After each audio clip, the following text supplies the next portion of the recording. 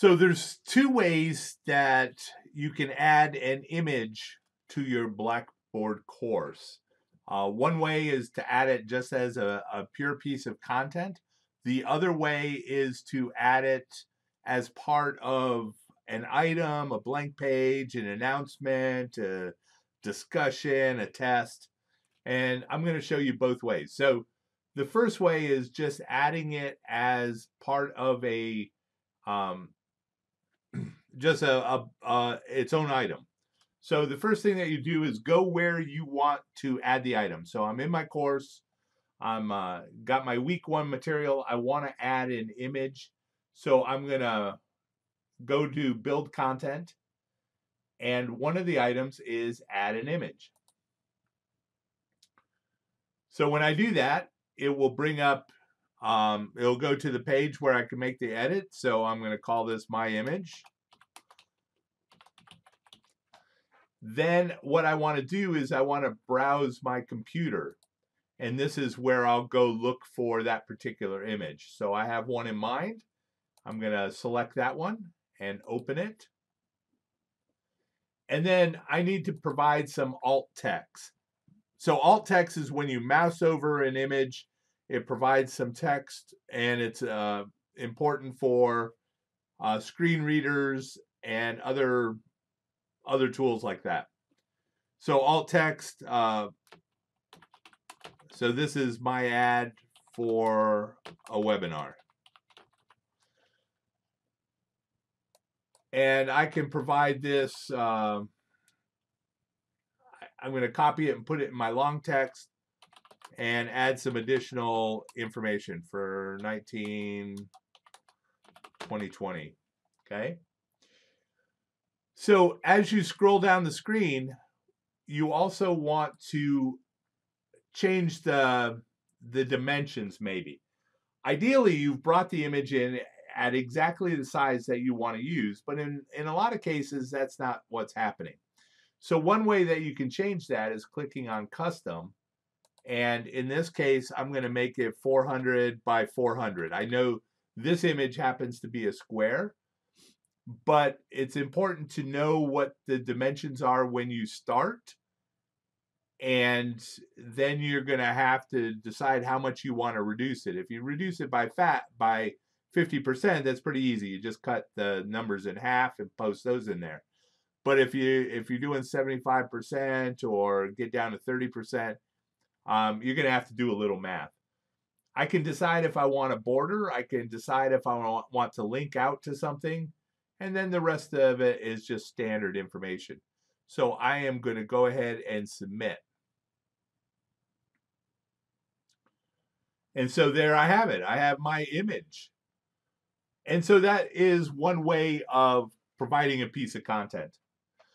So another way that I can do it is I can create an item or a blank page and so I'm going to do this time as a blank page. I know in the, the blog post that this is attached to, I did an item, but this case I'm going to do a blank page. So for my blank page, this is my new um, my new article. Okay. And so what I want to do next, so I've I've put a title on it and I come into the content area or the text area. And at this time, I want to go ahead and click on the image tool. You may have your menu rolled up. It may look like this and you don't see that tool. Just go over to the far right side and you see show more and you'll see the rest of the menu. And so I'm going to go ahead and insert my image. So this brings up a slightly different uh, box that you're going to have to fill out. So the first thing I want to do is browse my computer. And I'm going to use this one and select open. And already I can see that this is going to be too big. So I'm going to reduce it because it's bringing it in at its real size and it's really massive. So I'm going to change that. But this is, uh,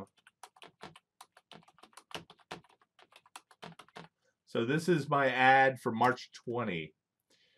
So before I insert this, because it will be really big, I'm going to click on the Appearance tab, and this allows me to change the dimensions.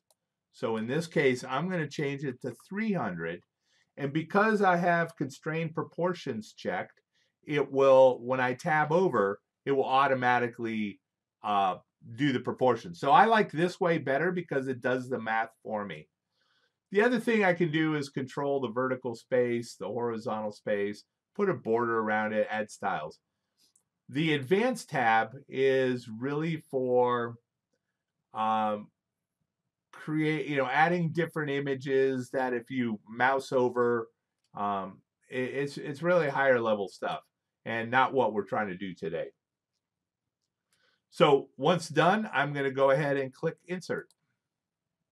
And so now my my item is there and I can hit enter and I can start adding text uh, to the bottom of this. And I can add other things. I could go ahead and add additional images if I wanted to. I can repeat the process all over again. And I will browse my computer to find uh, another image that I use. We'll use this one.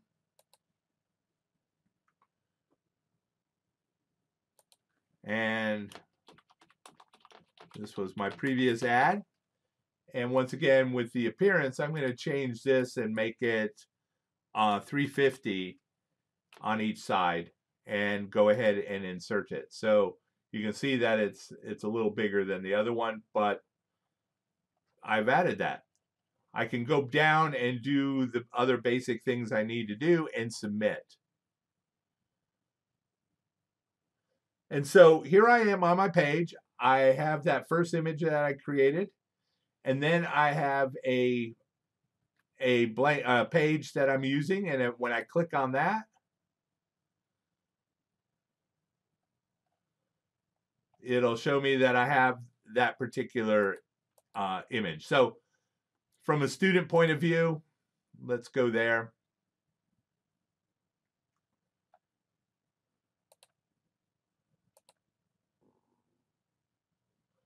And week one material. So when I go there, I have that article. When I click on my new article, that is what that's going to look like. So I hope that helps.